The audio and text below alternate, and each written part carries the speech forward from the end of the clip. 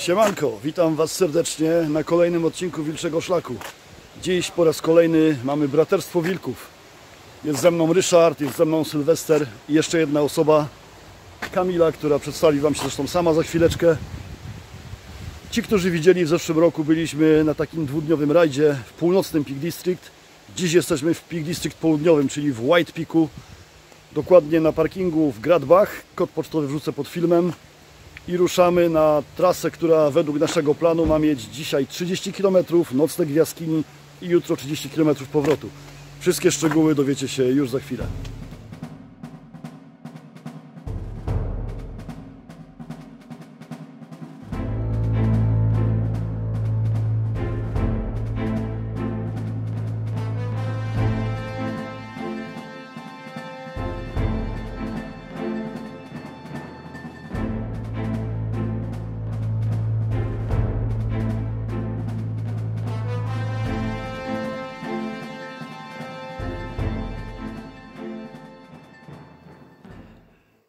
Tak jak powiedziałem, wyruszyliśmy na trasę z Gradbach, kierując się na Lutz Church. To była taka trochę podróż sentymentalna, ponieważ, jak wiecie, byłem praktycznie w każdym z tych miejsc, które dzisiaj odwiedzimy na trasie, zresztą chyba każdy z nas. Ale nastroje były bardzo dobre, mieliśmy przed sobą wyzwanie, cieszyliśmy się wzajemnie swoim towarzystwem i tak jak powiedziałem, ruszyliśmy do Lutz Church. Miejsce pewnie bardzo dobrze znane, bardzo dobrze znane tym, którzy bywali w Peak District. Pełne mrocznych tajemnic, podobno bardzo nawiedzone, chociaż spędzałem tam kiedyś noc i niczego nie stwierdziłem. Jak zwykle pełne błota, zimne i z sporą ilością turystów. Przemknęliśmy więc przez rozpadlinę wyrzeźbioną paznokciem diabła i ruszyliśmy dalej.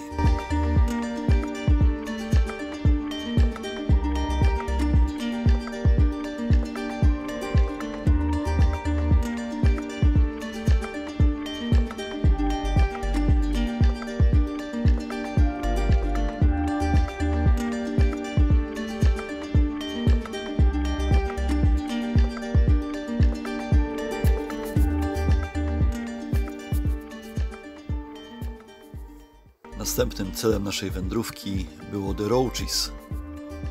Przepiękny, malowniczy grzbiet w południowej części Peak District, gdzie wiatr oczywiście uniemożliwiał jakiekolwiek nagrywanie głosu. Zresztą, jak już wielokrotnie mówiłem, nie lubię nagrywać komentarzy na, na żywo, kiedy podróżuję z kimś. Nie czuję tego, nie wychodzi mi to do końca. Wolę skupić się na prywatnych rozmowach. W dalszej części filmu zachowałem trochę oryginalnej ścieżki, żebyście mieli podgląd, e, jak wyglądały nasze rozmowy, ale większość tego, co w tej chwili słyszycie, nagrywam już w domu. Tutaj jesteśmy już na samej końcówce The Roaches, obok domku czarownicy. Wspięliśmy się tam wszyscy drużynowo na potężny głaz, podziwiając okoliczne widoki.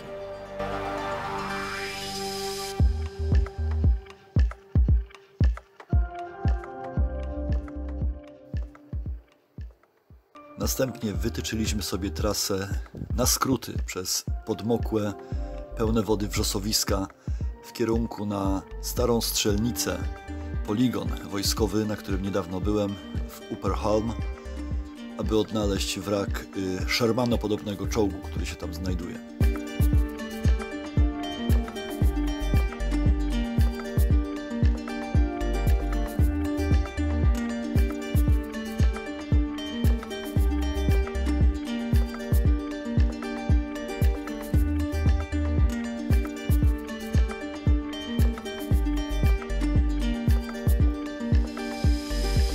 Drodze natknęliśmy się na kolekcję gryzoni, większości kretów, które okoliczny farmer wieszał na drucie kolczastym. No widok był dość makabryczny.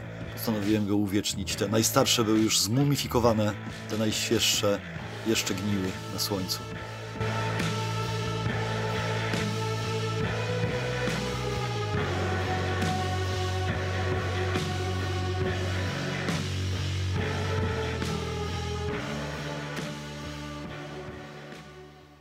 Zrobiliśmy sobie krótki odpoczynek we wraku czołgu, ale z powodu dość silnego wiatru zmieniliśmy plan, bo początkowo chcieliśmy tam zjeść posiłek, ale tak jak powiedziałem, z powodu wiatru przenieśliśmy się do budynku w pobliskiej strzelnicy, gdzie zgrzaliśmy sobie posiłek i to była taka przerwa obiadowa w stylu postapokaliptycznym. Czuliśmy się jak stalkerzy w zonie.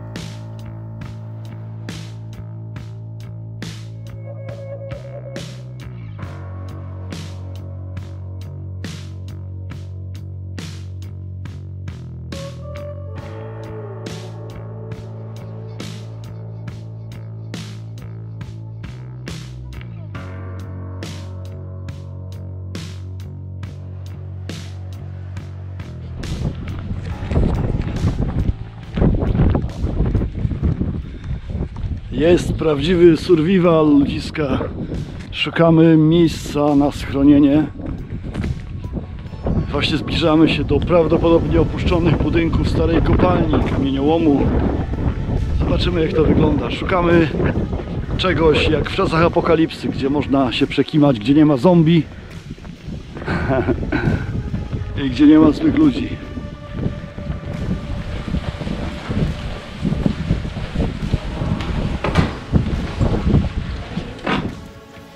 Jak sytuację? Ciężko, ale stabilnie.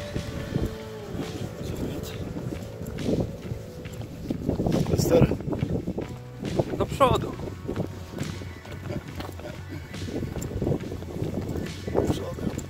Rychu. Widzowie chcą wiedzieć, jak oceniasz sytuację. Zajebiście.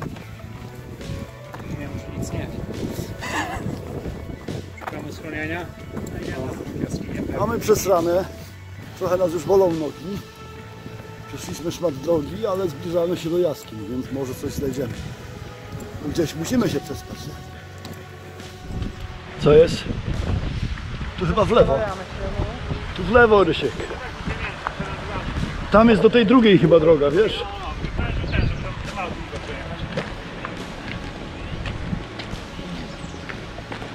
Tam pójdziemy jakby co, ale wydaje mi się, że tu jest pierwsza jaskinia, że ją było widać. Ale nie, bo zobaczcie z lewej. O masakra. No, przed wojną też było czerwone niebo. Ta wojna będzie. Przed wojną też był węgiel.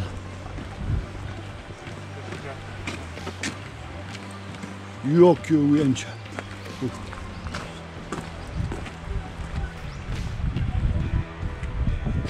No ludziska, chyba znaleźliśmy schronienie na dzisiaj.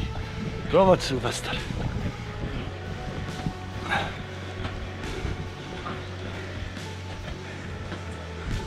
Wow! O kurde! O kurde! Ale mega! Ale mega!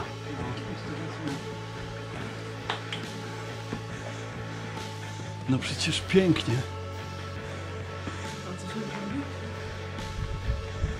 Wiesz co? Taki zaułek, jak chcesz się odosobnić. No kurde. Dobrze to wygląda, nie? Trochę tu wieje. Gdzie wieje? Tam wieje przejść. Tu gdzie ja stoję, no.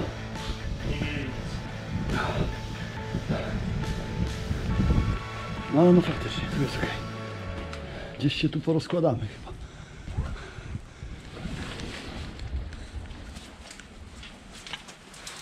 Ryszek, tu by trzeba dorzucić coś.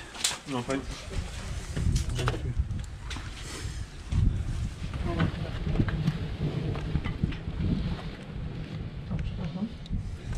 Kamila, pokaż co masz w korytku, Już pokazuję. bo prezentuję widzowie są ciekawi. Klasyczną O potrawę kurde. polsko-chińską rosół. Rosół, ta kura jeszcze wczoraj biegała po Pekinie. Tak. O ile Pekin to dzielnica Radomia. Tak. Home sweet home. Mały Pekin? Duży Pekin.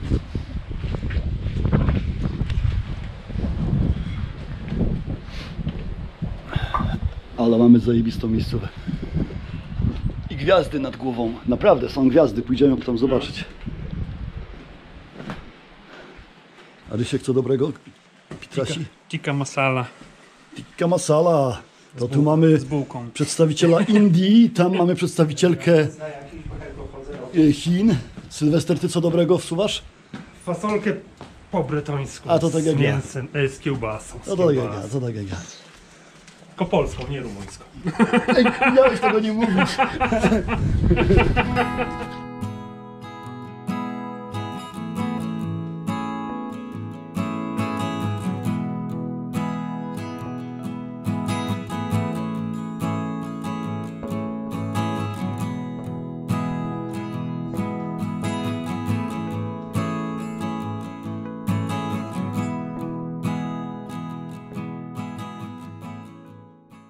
Miejsce, które znaleźliśmy na nocleg, było jaskinią, przepiękną jaskinią, niestety pozbawioną dachu.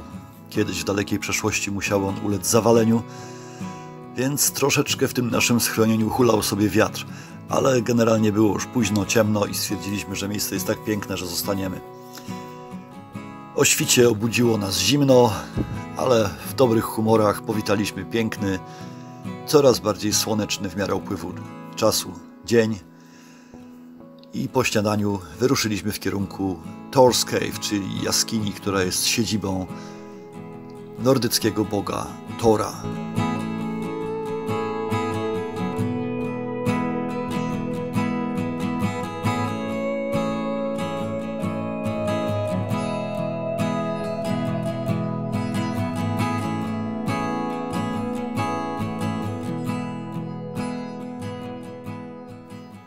Słońce przygrzewało coraz bardziej, więc powolutku zaczęliśmy zdejmować kurtki i w coraz lepszych humorach powolutku udawaliśmy się w drogę powrotną. Oczywiście najpierw eksplorując przepiękną jaskinię Tora. Kto nie był, bardzo, bardzo polecamy. Niestety jedynym minusem jest to, że była bardzo zaśmiecona. Znaleźliśmy tam mnóstwo porzuconych śpiworów, mat, worków, butelek, puszek. No po prostu skandal ale sama w sobie jaskinia jest naprawdę przepiękna.